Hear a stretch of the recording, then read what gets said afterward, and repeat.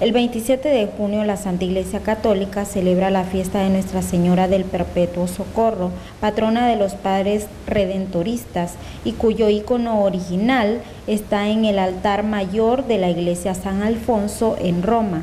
En el reparto Rubén Darío de la ciudad de León está situada la parroquia Perpetuo Socorro, la que se encuentra bajo el cuidado de la comunidad de los misioneros marianos quienes junto a la feligresía recibieron con mucha alegría a Monseñor Bosco Vivas Robelo.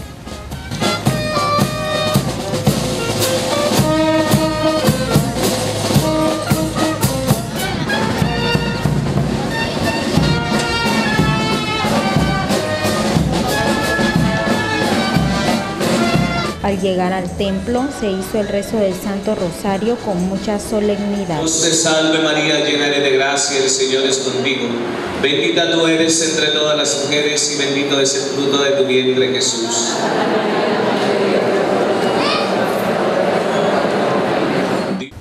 Posteriormente se dio inicio a la celebración de la Eucaristía, presidida por su excelencia reverendísima Monseñor Bosco Vivas. Hermanos, estar con ustedes esta mañana para unir mi voz a la de ustedes, alabando a la Madre de nuestro Divino Redentor. Se compartieron lecturas del profeta Isaías y la carta del apóstol San Pablo a los romanos. El santo evangelio proclamado fue el de San Juan, que narra el milagro en las bodas de Caná. ¿Cómo llegará a faltar el vino?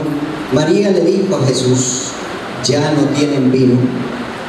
Jesús contestó, mujer, ¿qué podemos hacer tú y yo? Todavía no llega mi hora. En su homilía, el obispo diocesano habló sobre cómo Cristo recibe con mucho amor todo honor que se le tribute a la Virgen María como su madre y San José como su padre, tomando como referencia las relaciones humanas en la tierra. Estoy convencido, les dije, que este homenaje que hoy rendimos a María Santísima es un homenaje que Cristo recibe con agrado como hecho también a Él.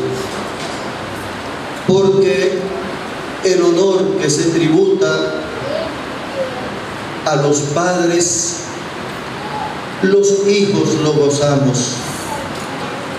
Y viceversa, los homenajes que se rinden a un hijo o a una hija la madre los recibe con agrado como homenajes hechos a ella misma.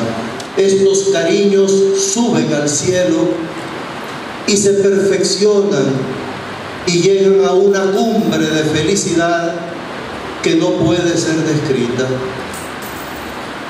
Cristo Jesús, lo dice el Santo Evangelio, vivió obediente a su madre y a San José mientras estuvo aquí en la tierra. Es verdad que en cuanto Dios, que es, todo está sometido a Él, incluso su Santísima Madre. Pero en cuanto hombre quiso el mismo Jesús, fue su voluntad estar obediente a la voluntad de su madre. La feligresía con mucha devoción presentó los dones ante el altar del Señor como fruto del trabajo del hombre. El padre Wilson González, cura párroco del templo, expresó sus palabras de agradecimiento a su excelencia por su presencia en esta fiesta patronal. Su excelencia, Monseñor César Bosco, nuestro superior y fundador, el padre Mauricio Cuesta, le envía un saludo especial de cariño y agradecimiento por tanta bondad y tanto amor que usted demuestra hacia esta obra de los misioneros y misioneras marianos. Le damos gracias a Dios por que nos ha recibido en esta diócesis, porque ha confiado a nosotros, a nuestra comunidad, el servicio pastoral en esta parroquia Posteriormente a la bendición, Monseñor Bosco Vivas administró el sacramento de la confirmación a 24 niños y niñas. Nos digo